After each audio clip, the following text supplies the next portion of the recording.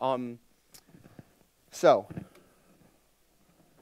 next, what does Simco mean? Does everyone, how many people know what Simco is? Okay. It's 10:30, so I think it's time to wake you up.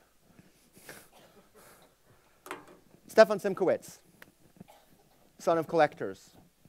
Um,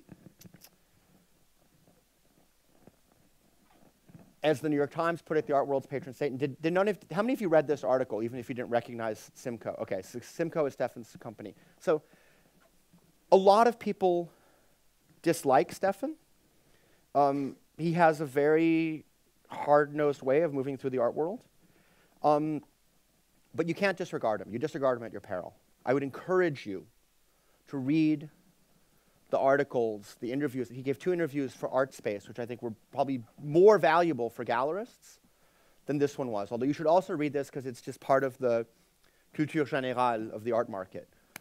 Um, what strikes me about Stefan is that he has disintermediated the traditional gallery process. Stefan has identified good young artists, people who everyone is talking about, people like Petra Cortright and Amalia Ulman, Spanish, Jon Rafman, et cetera, et cetera very early on, before they're working with galleries, he has introduced them to gallery, he's set up their gallery shows, he has bought enormous amounts of their material in the same way that Saatchi did, and he's been very transparent about what he has.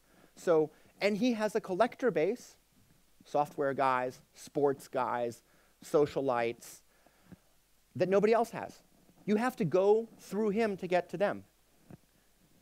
And you can disagree, you can dislike him, but the fact is, he is able to identify what kind of art will be popular. And, he's a, and he has a market maker quality in the same way that the Rubels do, for example. You know, what he puts forward has momentum because he puts it forward to his people. So I think you have to understand that, that the reason why Stefan has been successful is A, he's moved much faster than a lot of galleries have with these young artists. And the other is he has done this thing that we talked about before with, with Silicon Valley. He has taken a market that was built on opacity and been much more transparent. He goes to art studios, he puts his stuff on Instagram. You know?